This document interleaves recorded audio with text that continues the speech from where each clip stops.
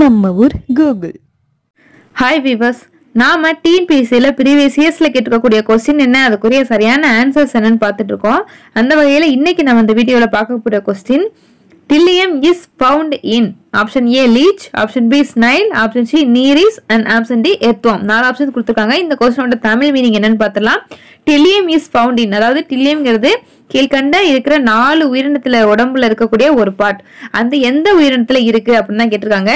லீச்னா அட்டை ஸ்னைல்னா நத்தை நீர்ச்சிங்கிறது ஒரு வார்ம் லைக் ஸ்ட்ரக்சர் உள்ள ஒரு புழு அண்ட் டீல இருக்கிறது எத்தம்னு மண்புழு நமக்கே தெரியும். இதுல சரியான ஆன்சர் என்ன அப்படின்னு கேட்டீங்கன்னா ஆப்ஷன் டி எத்தம் இந்த மண்புழுவில் தான் இந்த பாட்டு இருக்கு.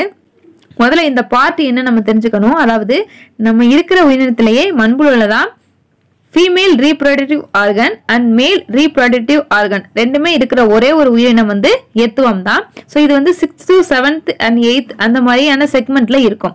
ஸோ இந்த செக்மெண்ட் எப்படி இருக்கும்னா கொஞ்சம் என்லார்ஜ் ஆகி வீங்கின ஸ்ட்ரக்சர்ல மண்புழுல காணப்படும். இதை தான் நம்ம டில்லியம் அப்படின்னு சொல்றாங்க. ஸோ உங்களுக்கு டில்லியம் இஸ் ஃபவுண்ட் இன் அப்படின்னு கேட்டால் அதுக்குரிய சரியான ஆன்சர் எத்துவம். இந்த வீடியோ உங்களுக்கு யூஸ்ஃபுல்லாக இருக்கும்னு நான் நினைக்கிறேன்.